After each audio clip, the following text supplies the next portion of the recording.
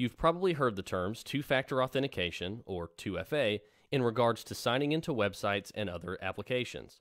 2FA adds a second layer of security when logging in to make sure your information is kept safe from someone who is not you trying to log into your accounts. Passly Auth Anvil is a utility built to do just that. This short tutorial will explain how to set up Passly Auth Anvil on your mobile device so that your logins are safe and secure. When you receive the welcome email from Passly Auth Anvil as shown here, you'll click on the Get Started option. If that link does not open, do not worry. You can also look at the bottom of the email where it says try this link to get started as well.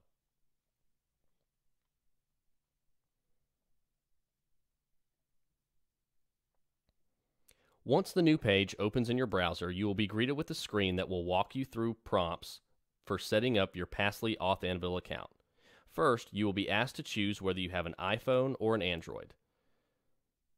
The next prompt will give you instructions on how to install Passly Auth Anvil on your mobile device, and you will also see a barcode or QR code on your screen, such as this. You will then download the Passly Auth Anvil app from the Google Play Store on Android or the App Store on iPhone. Once installed, open the app and click on the plus sign in the corner. This will pull up your phone's camera within the app, and with it, you will scan the QR code on your computer screen.